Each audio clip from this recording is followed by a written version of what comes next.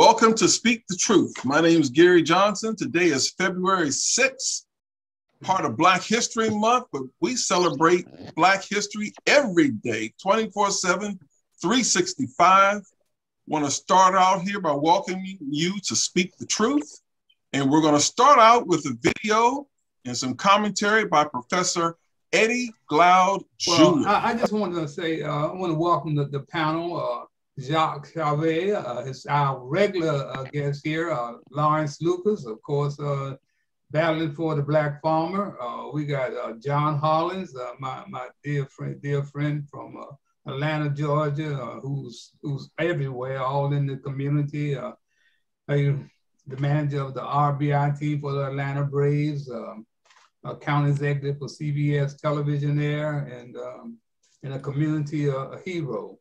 We got, of course, uh, uh, the facilitator. Uh, we got uh, Gary, Gary Johnson. And I see we got Arlena has joined us today. And we got my co-host, uh, Chris Thomas.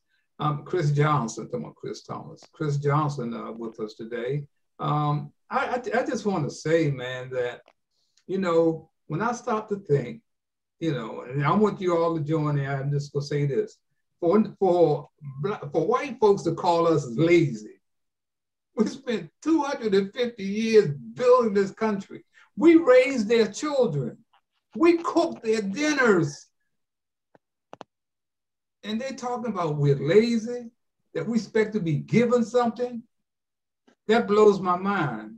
And, and, and, and I think about a conversation that I had with an administrator in the NBA office when I complained about the racism at, at the Washington Wizards facility with a guy by the name of Scott Hall, a, a, a white guy who asked me, did I think he was racist?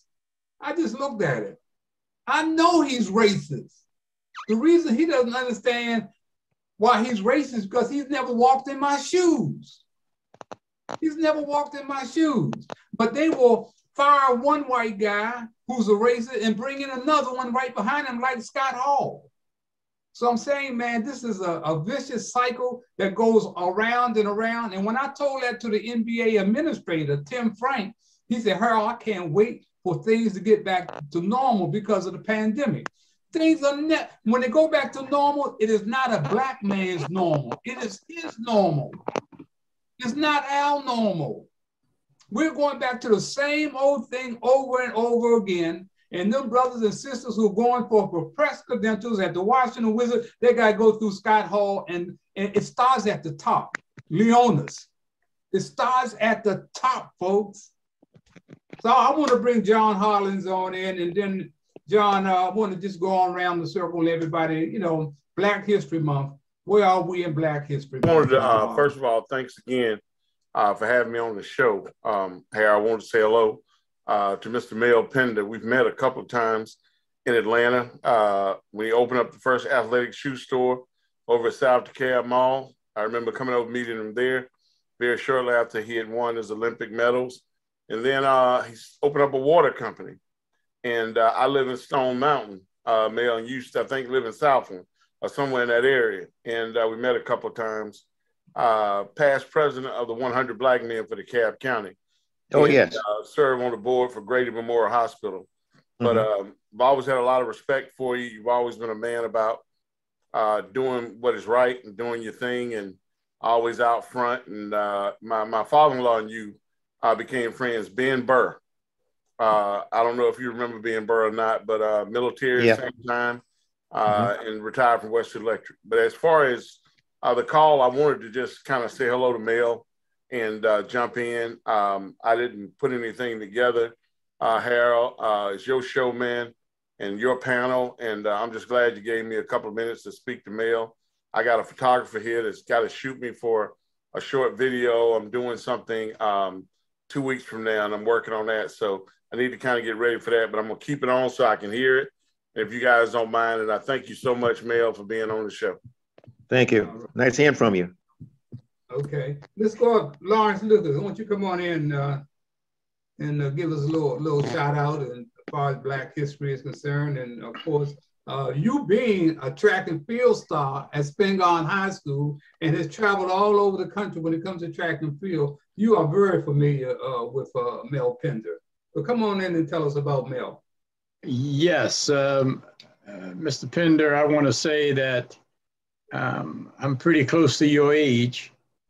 And I want you to know that I saw you run many times, mostly indoors in New York, Philadelphia, and DC. And uh, I learned more about you today than I knew of you for all these years. I know you know Lacey O'Neal. I Oh, know, yes. I know you know Brooks Johnson.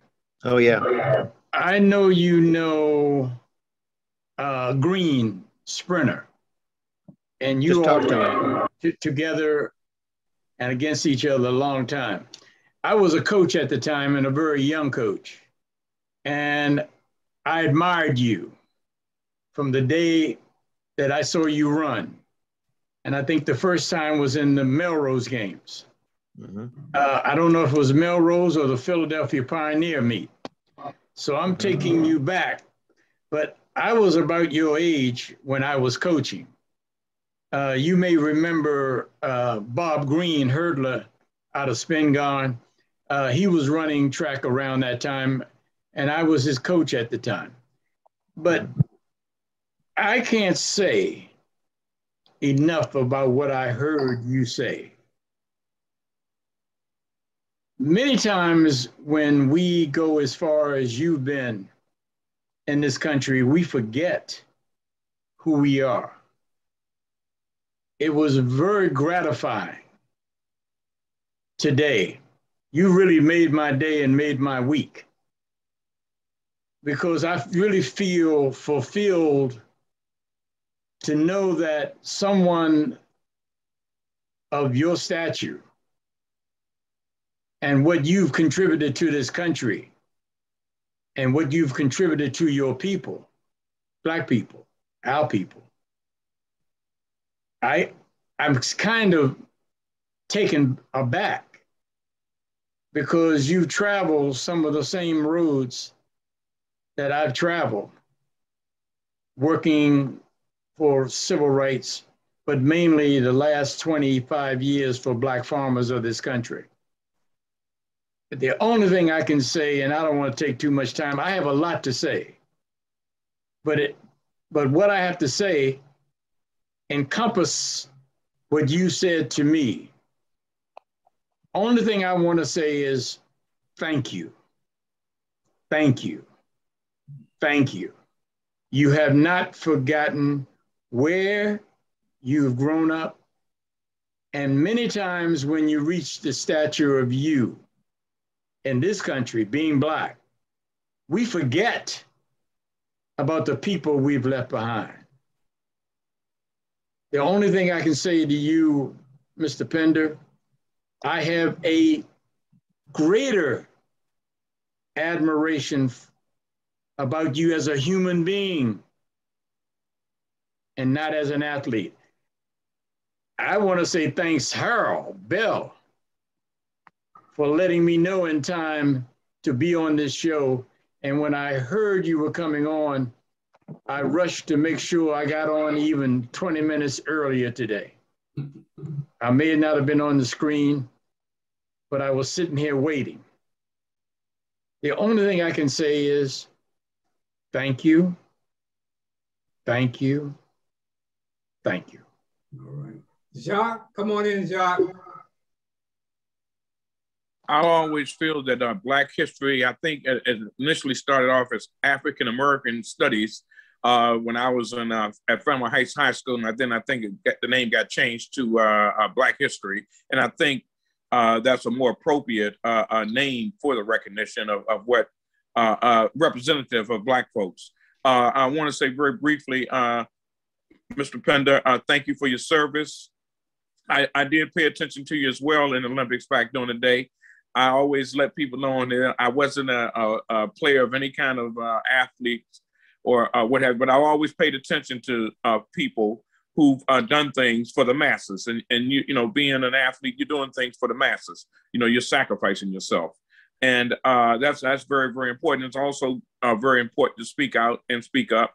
Uh, I think that we have to have that. And Black history, I've learned so much myself. Uh, uh, being born in Washington, D.C., my father's from down Louisiana, by the way, so I got that Southern flavor too, Mr. Mr. Pender and uh, Mr. Uh, John Rollins.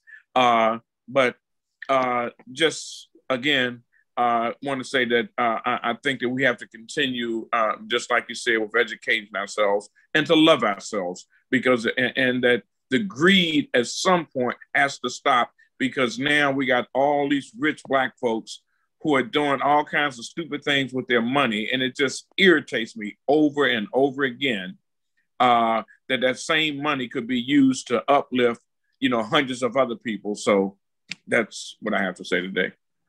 Okay.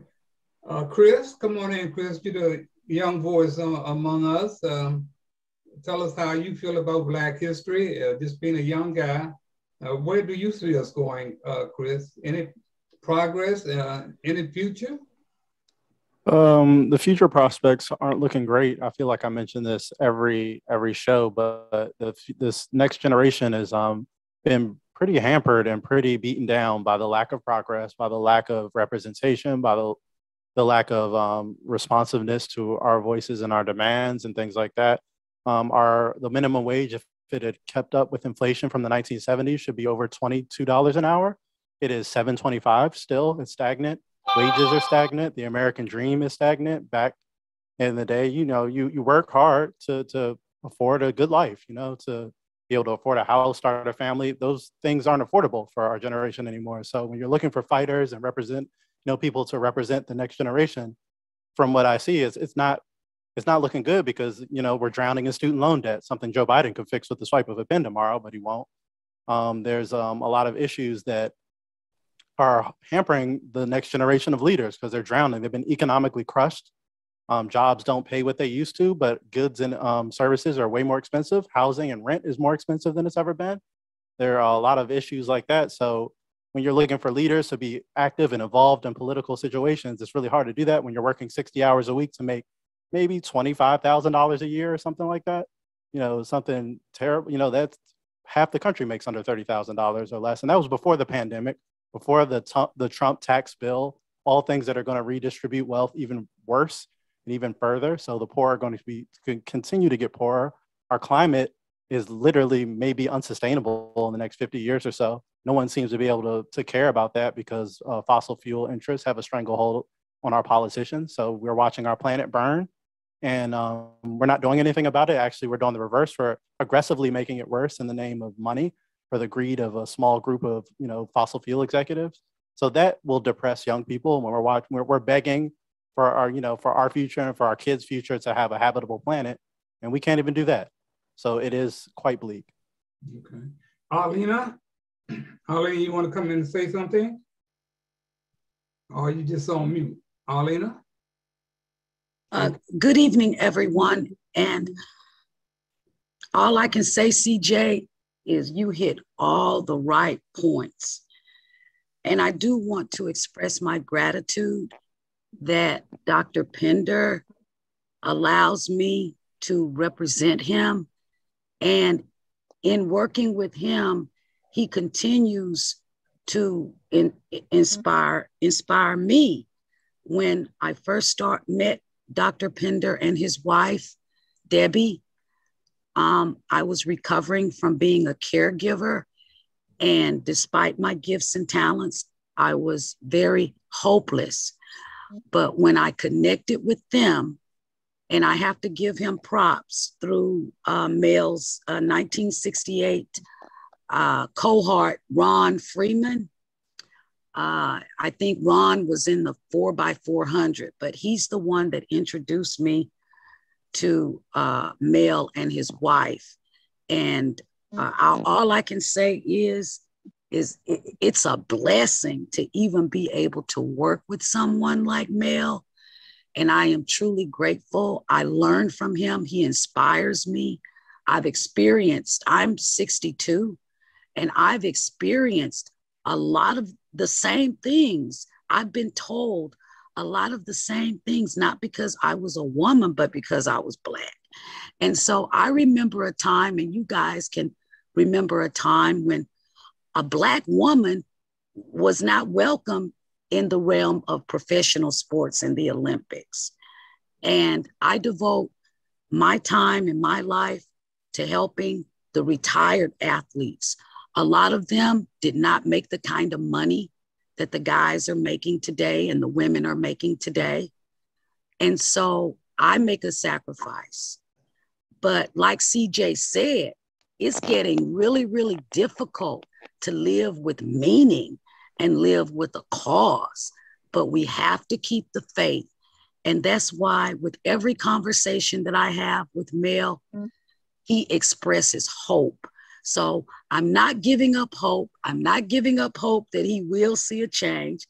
And I'm not giving up hope that CJ, you know, somehow we will be able to overcome a lot of those obstacles, real obstacles and mm-hmm. problems that you shared with us as I think you're a millennial. You look young enough to be a millennial, but you were right on point.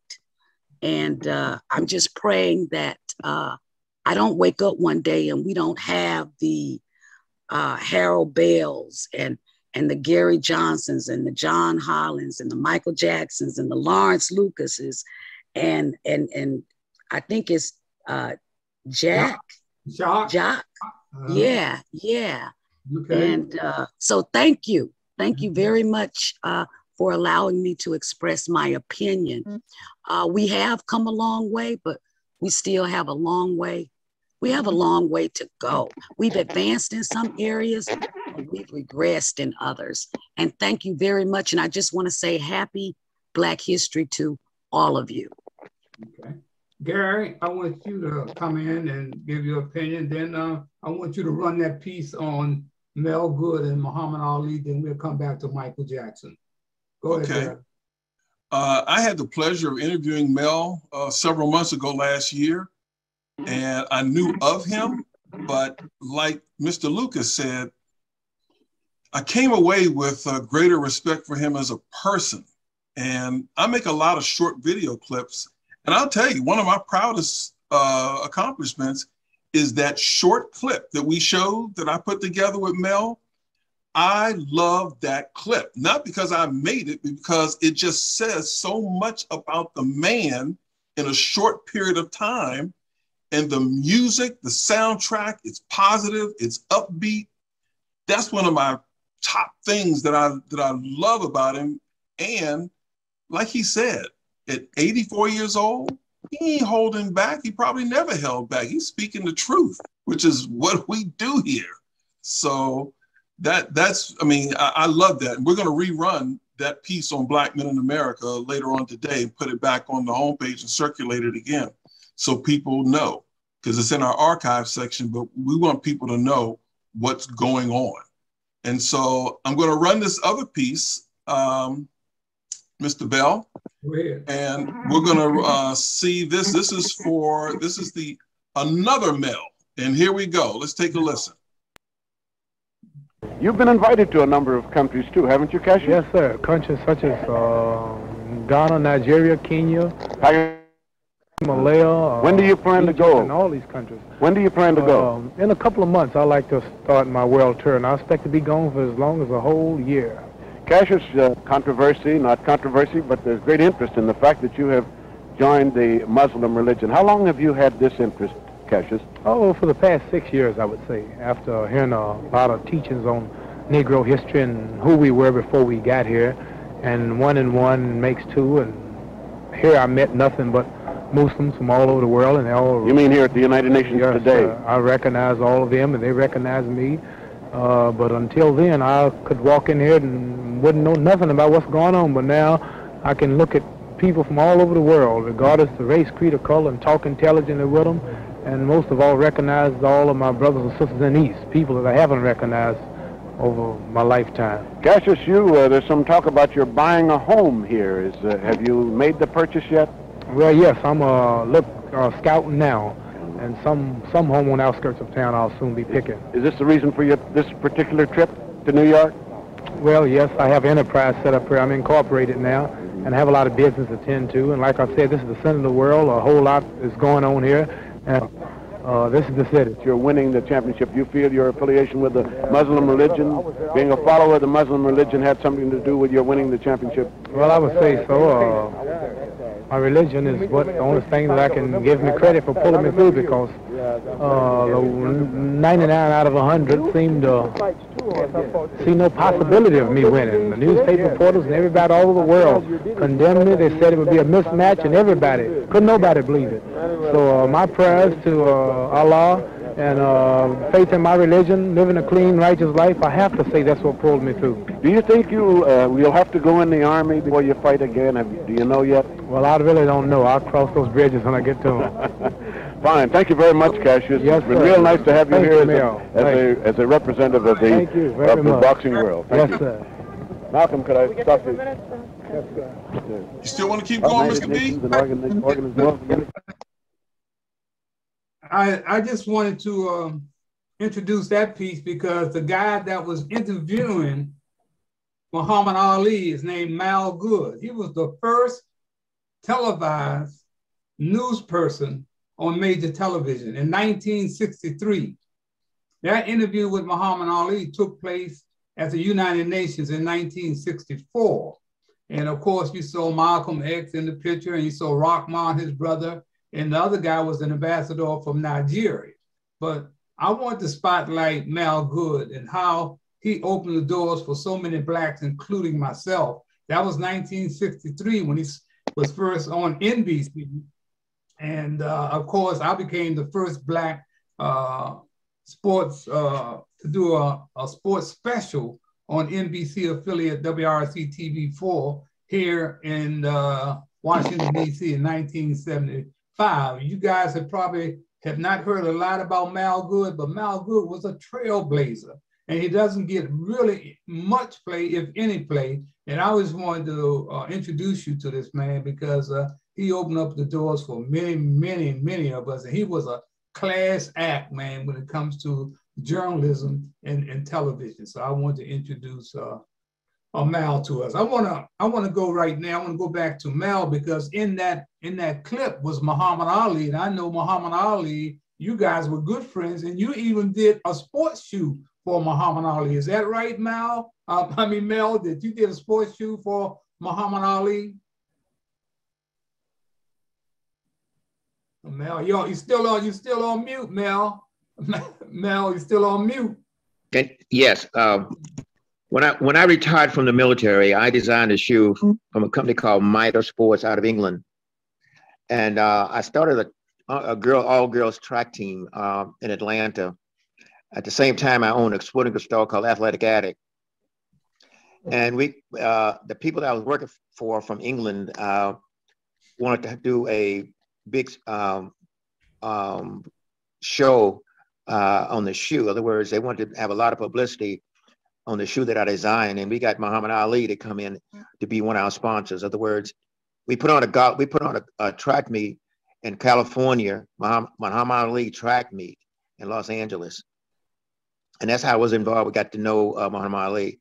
The shorts that he wore was that he wore in that fight, and the shoes that he wore, the boxing shoe, was made by Mitre. Uh, if you notice on the on the shoe and also on the shorts, it had had an M on it. But I got to know Muhammad Ali very well, and the kids uh, just went crazy uh, seeing Muhammad Ali and having having Muhammad Ali name uh, a part of the uh, of the track meet. I took the fastest girls, the top girls in Atlanta from the high schools in Atlanta. It was 15 of them, and we traveled all over the United States uh, competing uh, with Muhammad with uh, Muhammad Ali's uh, brand name on the shoe and and Mitre. The, the Mitre we put Mitre on his shorts because name shoe was named Mitre M I T R E. So uh, he uh, was really great with the kids. You know how he is, man. He's great with all people. He love kids. Michael Jackson. Michael, come on in. I want to, Michael, one thing I want to switch, kind of switch lanes here. Of course, uh, Biden is talking about uh, nominating a black woman to the Supreme Court. Uh, is that going to happen, and will it help us? It's gonna happen. It's gonna happen, and I do think it's gonna help But That's the, as I done said before, when I'm uh, arguing with CJ about uh, Obama. That's my main criticism of, of Obama, President Obama, that he did nominate a black to the Supreme Court. But uh, Biden is going to, and I, and who knows, that might actually influence Clarence Thomas to have a, another black there to, to, to have discussions with him uh, on issues that he done somehow gotten away from. And so it's gonna happen. I'm glad the the uh, uh, the guy resigned in time to get this done. But yeah, it's gonna have a big impact. He'll nominate the right black female. Uh, she'll be very well qualified, and but she will be somebody that understands a lot of the uh, issues that are, are, going on with minorities, and that would help. Mm-hmm. Okay, okay. Mel, what, what do you think about uh, uh, Biden nominating a black woman. I saw about five or six of them that he's thinking about it nominating. I'm just hoping uh, we don't get stuck like we got stuck with Clarence Thomas. I swore that Clarence Thomas was going to change his colors once he got on the Supreme Court, but I was dead wrong. So I'm glad that we got attorney Michael Jackson with us today to, to explain that process. Mel, what are, what are your thoughts on uh, a black woman being nominated to the Supreme Court? Take yourself off mute, Mel. Take yourself off mute. You st- Mel, take yourself the off. greatest things could happen uh, in this country to have a black woman on the Supreme Court. Uh, I'm praying that she don't be another Clarence Thomas. Uh, you know, I, they get ready to give him an award in Atlanta. They're trying to, uh, but when I saw that, I, my, my stomach turned sour. Mm-hmm. Um, but hopefully that uh, he'll pick the right person and she would do her due diligence and do the right thing to change, get some changes made to help make some changes in the Supreme Court in this country. It should have happened a long time ago. I, you know, we you see what's there now. We we got only one, and he's not really black. I don't know what you want to call him, but anyway, I have no respect for him. Uh, but uh, you see what Trump uh, did while he was uh, in office, and he would run the country selecting people, except for the Supreme Court, so all the country. And he, one way he's smart in doing that. I mean, he knew what he was doing. And we still got a problem with that area, uh, with the uh, Supreme Court justices in different parts of the United States. Mm-hmm. But we need somebody there that's going to stand up and, and stand up and, and, and, and again, like John Lewis said, speak out when he, they see something wrong and so we can make a difference, try to make a difference in this country with our laws, with the laws of uh, uh, in the, in America. You know, we we we got problems, and I hear people say, "Well, we we made some changes. We made very few changes." I, I that's just my opinion. We made very few changes in this country, man, and and I and I just hope one day that uh, if I don't see it, uh, the younger people can see it, like CJ. You know, CJ made a big impression on me because he knew he really knows what's going on. It's going to take people like him around his age that's going to change things in this country. But you know, one thing I want to say uh, is that when I saw what happened, uh, the marches when all these young black men were being killed by the, by these policemen, and I saw all these young black young people out there marching and, and protesting, but not only black, and I saw people from all nationalities all over the world protesting. That's what we're going to need in this country, man, to change. We're going to need those people, his people, his age, to get out there and make changes, run for office, get out there. You know, you, you, you can see the problem. You see the problem, CJ. I don't have to sit here and talk about it. And you need to have all your people, all people around you, your age, working with you to make so they can see what needs to be done. Like I said, they don't know that. Most black kids don't know that anything about their heritage. They don't know who. They don't even know who Jesse Jackson Is. they don't even know who, some kids don't even know who Martin Luther King is, man. I mean, they don't know his what he's done for this country, what he did. Uh, and C.T. C.T. Vivian. Who is C.T. Vivian? They don't know who C.T. Vivian is. They don't know. Hosea Williams. All these people. I mean, until they learn and see what's what's happened in the past, to, to, to, to, to keep us back, then they can maybe come up with some idea of what they need to do to make a change, like you, CJ. I want to say, uh, you know, we had a couple of weeks ago, we had a guy on on the show by the name of Matthew Fogg.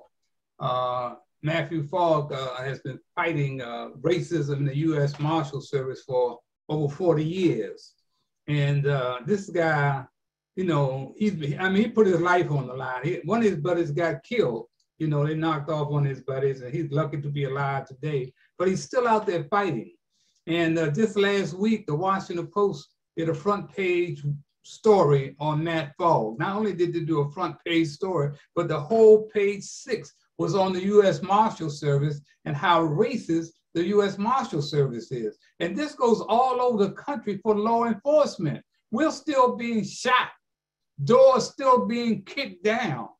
And Matthew Fogg is out there. He is really an American hero, man. There's no doubt he's an American hero. And he's still out there fighting a good fight. They get ready to carry it uh, to the next level as far as the court system the U.S. Marshal Service is finally look like they're going to get a hearing on the racism in the department. And why should that interest me? Because my brother was a U.S. Marshal, and I had to go toe to toe with the U.S. Marshal Service. It's a good thing I had Judge Luke Moore in my corner. Judge Luke Moore was the first modern day uh, brother in charge of the U.S. Marshal Service. So he had to go speak up for my brother to keep his job. My brother had on the police department stood up the same thing. The thin blue line and code of silence is still in law enforcement all over this country, man, all over this country. Gary, you got a, a, a piece on Matthew Fogg. Let's, let's show them who Matthew Fogg is. Youth employee working for number five precinct. They throw me, and I would have to get in their cars, and like they park up the block, I'd have to either back up or take it around the block a kid sitting in a police car. Oh man, my chest just grew about 10 inches, man, you know, because I got in the car and I'm riding. And I started thinking this is what I want to do. I became supervisor of Group 42 for the Drug Enforcement Administration. They cross designated me DEA. So now I'm doing I'm doing double dual tasks. I'm a U.S. Marshal and I'm a special agent DEA. That's when I picked up the name Batman. I'm talking about Gotham City, man. We were rolling, man. We were jumping on guys in the middle of the night, all of that swooping down on folks all across the country. Mm-hmm. Using these sort of tactical operations that we went out on that you would use in Vietnam or using some type of war-torn zone. And all of the stuff that we were doing, just calling it the war on drugs. And it wasn't very many black guys in my position. So when I would go into the war room where we were setting up all of our drug and gun addiction task forces, determining what cities where we're going to hit, I would notice that most of the time was always appeared to be urban areas. and hmm. That's when I asked the question, well, don't they sell, sell drugs out Potomac and Springfield and, and places like that? Or maybe y'all think they don't. The statistics show they use more drugs out in those areas than anywhere. The special agent in charge, he says, you know, we go out there and start messing with those folks. They know judges, they know lawyers, they know politicians. You start locking their kids up, somebody's going to jerk our chain. He said, they're going to call us on it, and before you know it, they're going to shut us down, and there goes your overtime what I begin to see is that the drug war is totally about race. If we was locking up everybody, white and black, for doing the same drugs, they would have done the same thing they did with prohibition. They would have outlawed it. They would have said, let's stop this craziness because you're not putting my son in jail. My daughter's not going to jail. If it was an equal enforcement opportunity operation, we wouldn't be sitting here anyway. It's all about fairness, man, and understanding how would I want to be treated whether I'm on that one end or the other end, how would I want to be treated if everything was done equally? Yeah, that's uh that's Matthew Fogg there, and uh, you can find him on. You can Google him. Uh, badge, uh, biggest with badges. Google biggest biggest with badges, and you see uh, Matthew Fogg and the the heroic stand that he's been taking for 40 years, man, against the U.S. Marshal Service.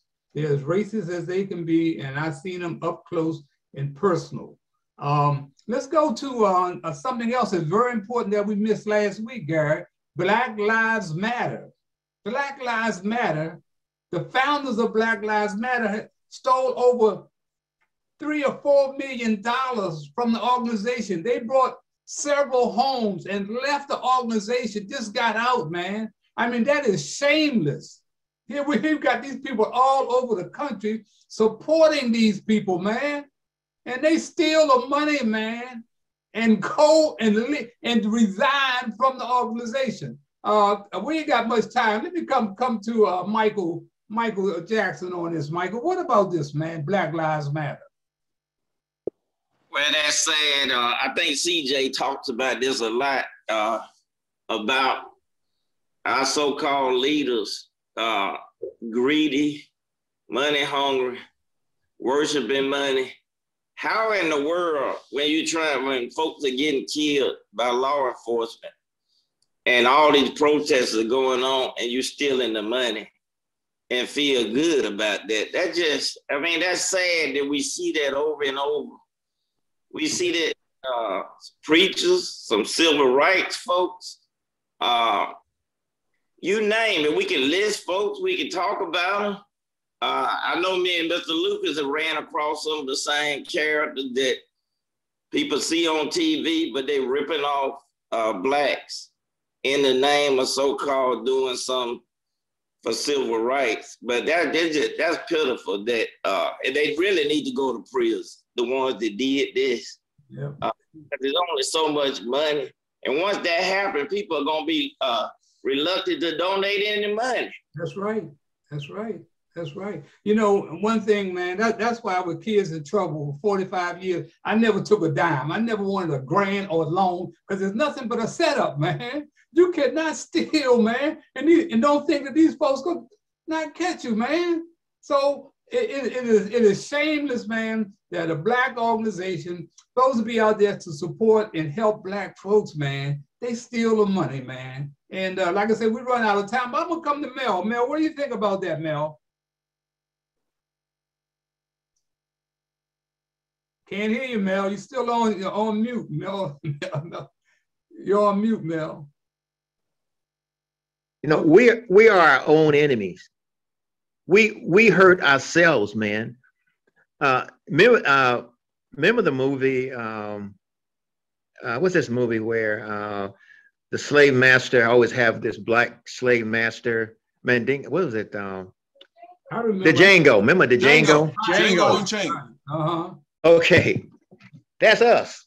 Yeah. If we can make a dollar, we're gonna do. We'll we'll sell our we'll sell our mama. We'll sell our papa. We'll sell our own child to get a dollar. I was just talking about that with a friend of mine this morning that played for the NFL. How his family stole money from his mother. Hmm. It happened to me and my family the same way. My, when my mother passed away, I had one of my granddaughters uh, take money from her, her account. Hmm. And she raised her. Uh, I've, I've seen this so much. I've seen us stab each other in the back for a dollar. When we're killing each other every day on the streets for drugs and a dollar.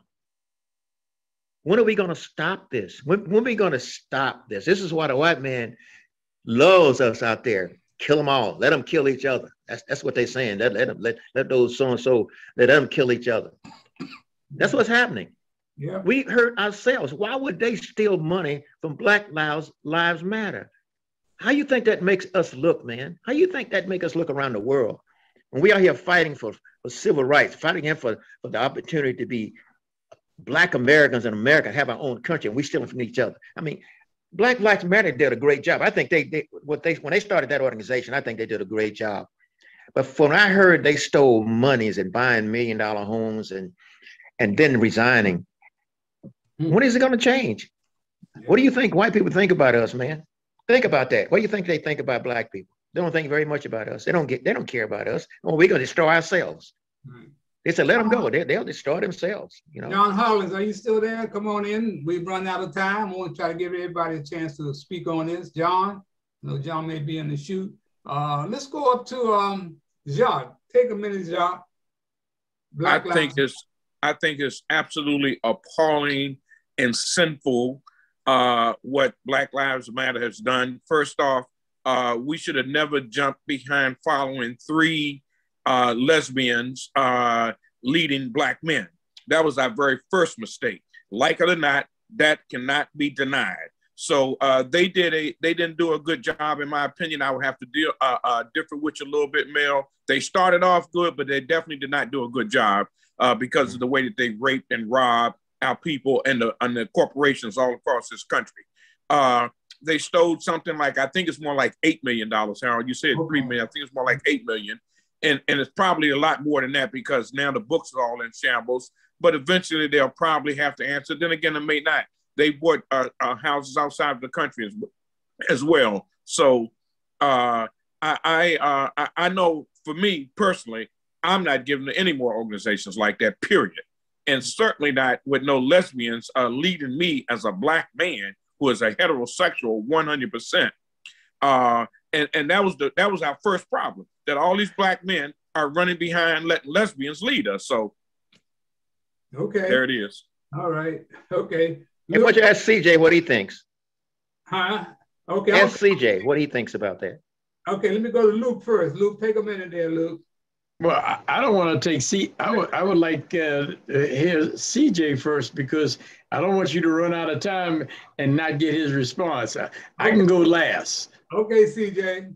Um, I think it just goes back to what, what I touch on all the time in the show is uh, the lack of leadership and why there is no organization on, on the on the next generation. I kind of talked about it before, the stranglehold of economics. You you touched on the violence in the black community. We're going to kill ourselves. We're fighting over scraps. We're fighting over petty things. So small bucks, $20, $50, 100 bucks, people dying, getting killed over it.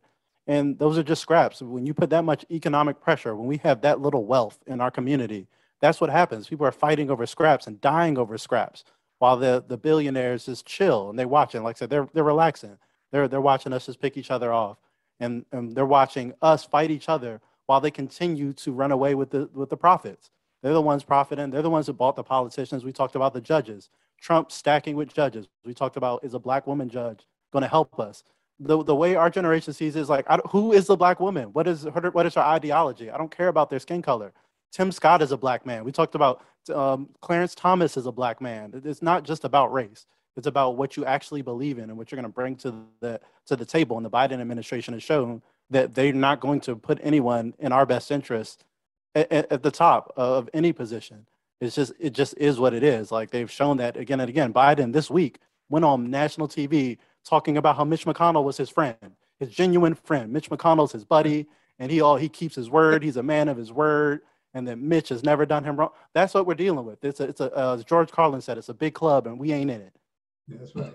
I want to say uh, there's a lot of controversy about uh, bums being planted on black universities around the country, HBCU. But you know what this really is? This ain't nothing but a bunch of cowards hiding behind Black History Month. They figure that they don't want us to have own, no Black History Month. I, Black History is every month to me. I don't care what word or anything. But they are threatening to put bombs on Black colleges just to disrupt what's really going on. And they got these uh, these kids. Some of these kids are not paying attention to it, but you don't know what these damn fools might do. So you got to have the police come on and, and clear the campus with the dogs and everything to make sure that this is not going to happen. And you know, I, I don't, I don't, they, they, will pull anything to disrupt what the real deal is when it comes to, to Black America. One of the other things is that seniors beware of scams. Well, one of the things that we've been doing on here on Speak the Truth for well over uh, going on a year now. We're talking about scams being played on seniors. Over $2 billion dollars a year, man. Seniors are being scammed. And we, over and over again, I've said it. And finally, they put uh, an uh, advertisement on WHUR radio. Now, you think they just put that, that advertisement on WHUR radio out of the blue? It's because we were saying something about it. And then this month's AARP cover story, they got uh, uh, seniors, something about uh, seniors beware scams.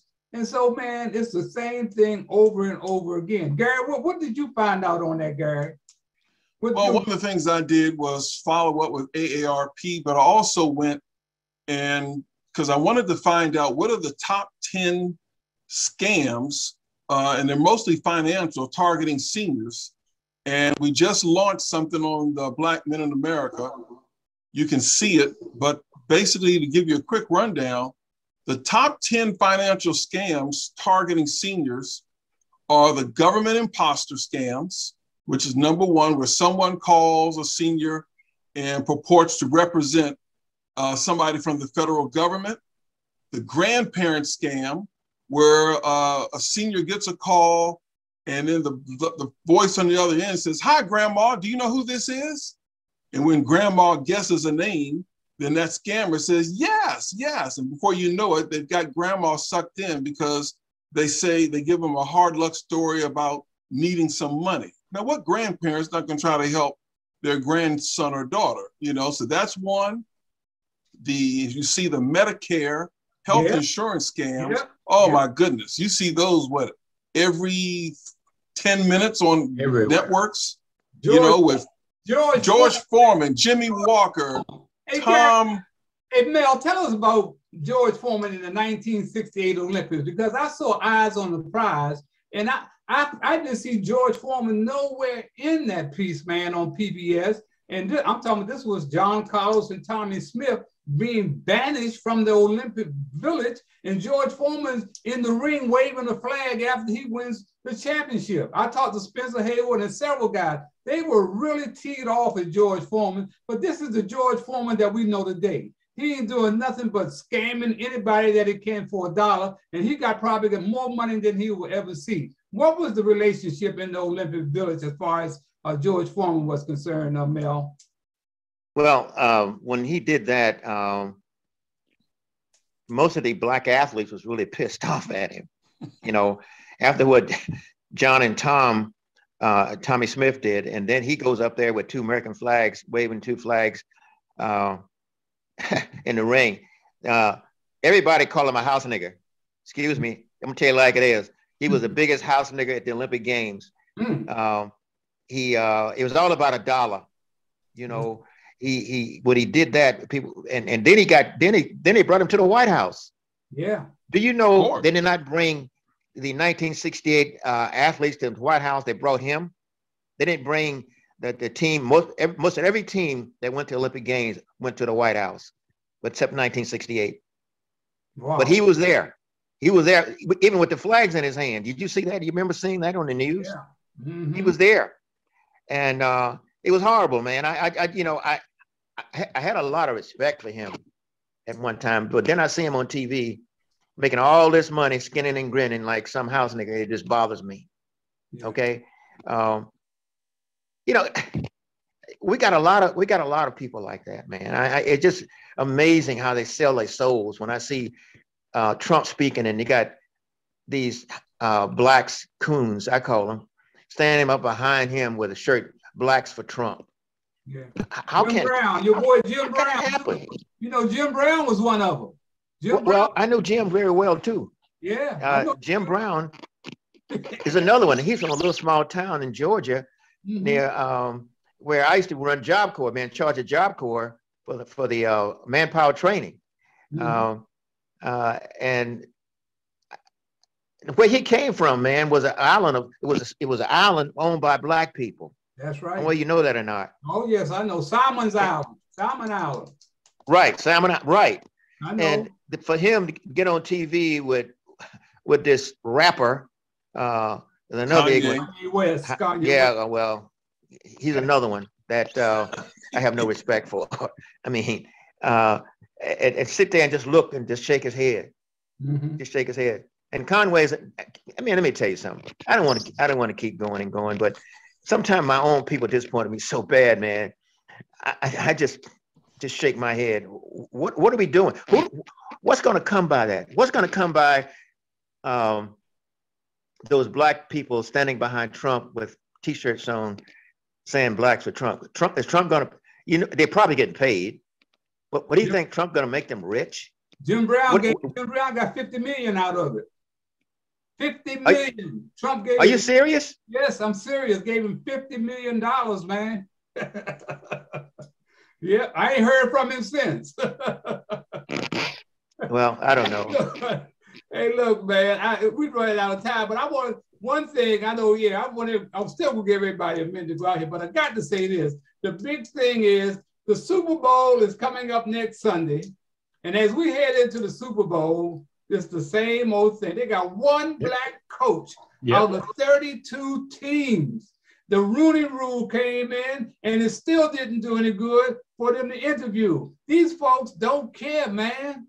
No, they don't have not one black owner in the NFL, no black owners in Major League Baseball, one black, I think he's black, Michael Jordan in the NBA, in the National Hockey League, no black coaches, no black owners, no nothing. So why these are plantations, man? And I've been saying this thing since 1972. These are plantations, man. So we got to keep on moving and keep on standing up and, and, and saying what's on our mind, giving the shout out. Let's, let's go to Arlena real quick, Arlena. John is back. John, come on in. What about the black coaches, John, NFL? John, are you there? Okay, Arlena, real quick. Arlene, are you there? Okay, we go up to Luke. Lucas. Oh no, I just you know like I I don't I don't really have any comments. I'm I okay. just really enjoyed the show. Thank okay, you. Baby. All right, Luke. Um, it's nothing but a plantation. Plantation. Uh, and I'm glad that uh, Mel mentioned that, that movie. Uh, we've got this plantation mentality all the way from Hollywood to athletes, uh, and especially our politicians. Right. And uh, I would like uh, for uh, one day to talk with Mel about the conditions uh, surrounding and what happened during uh, Tommie Smith and John Carlos. I know there's a story to be told, and maybe at some point in time we'll maybe be able to get him back on and talk about it. We'll get him Mel. Jacques, Jacques, what, real quick. Uh, yes, I just want to say uh, thank you to all of you uh, folks that's in your 80s. I believe that's called Arcarians. Am I right? uh, I'm, for, I'm for, glad to be here. Eh, eh, right, right. Yeah, I, I just that you know uh, you all have, have trailblazed. Y'all have done so much over the years, and uh, I, I also just very quickly think that uh, Black Lives Matters. To hop back on that for a quick second, they should have been talking about the black on black crime as well because uh, we kill each other more than the cops do. It's still bad. Either way, it's still a bad situation. And I, I just wish the best for our people. Okay. Michael, Michael, Michael Jackson, attorney Michael Jackson, what you got the last word? I don't think uh, these uh, black guys realize the power they have that they could actually uh, leverage and and probably get more black owners. I did want to uh, mention we never mentioned Jeter is technically an owner of uh, the Marlins, uh, Derek Jeter. One of the and, biggest times going. One of the biggest times out there. Well, I didn't want to throw out there. the first order, you know, you know what his first order was, Michael. You know what his first order? Was? Fire all the black uh, guys working on staff. That was his first. Two Hall of Famers. They told him go fire him. That was his first order from the Marlins, man. So please, please don't put that brother out there. Hey, look, I get that the point somebody made earlier about it just ain't a black face. They got to be. I think CJ or, or Mayor said that that it had to be somebody that uh is sensitive to uh the minority needs. So anyway, uh, it's sad though that whether it's one or two black owners in all these different major league sports. That's still sad. That's plantation. Okay, uh, CJ, real quick. Yeah, going back to the coaching thing, I think Nick Wright um, on TV, um, I forgot what show he hosts uh, on, on Fox Sports, whatever, made a great point. Just imagine uh, as a thought exercise that the NHL, what if um, all but one of their coaches was black?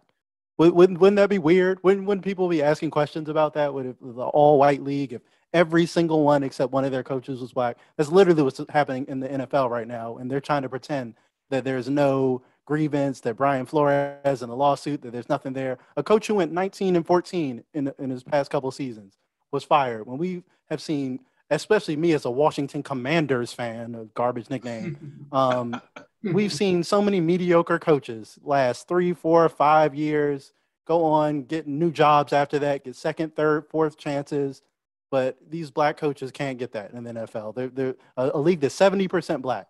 All of it's just a coincidence, and they wanted us to believe that it's based on merit.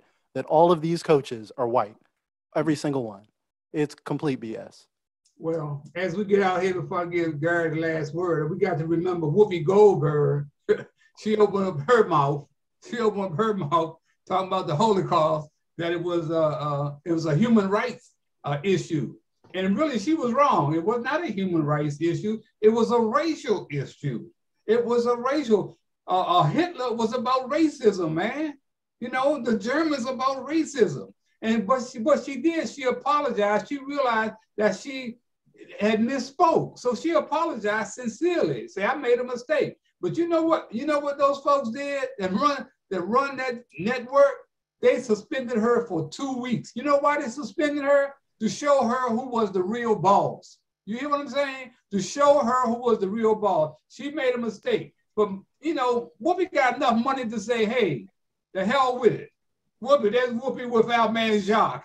Whoa, look at that. but anyway, Whoopi Goldberg, uh, of course, she will come probably come back on the show and and you know and and, and I, I just don't understand that, man. I, I really don't, man. Gary, take us out of here, please. Mel, thank you so much. We got to have you back, man. We got to have you back. Anytime, you know that, brother. All right. It, thank it's, Mel. it- it's, it's great having an Olympic hero on and everybody else. About the NFL, black folks got short memories. And as long as it, for the owners, if it doesn't impact their pocketbook, they No. don't care because they know we got short memories and that we're going to be right back in those stands, right back in front of that television, downloading the NFL network. They know this. And so they don't care. They can offend us because history says you can treat us any way you want and they will always come back. Amen. Hey, just remember, you cannot soar with eagles if you're hanging out with chickens, and that was most of us are doing. We're hanging out with a bunch of chickens. Until next time, I'm Harold Bell, and you can color me gone. Be safe, everybody. See you later. Bye.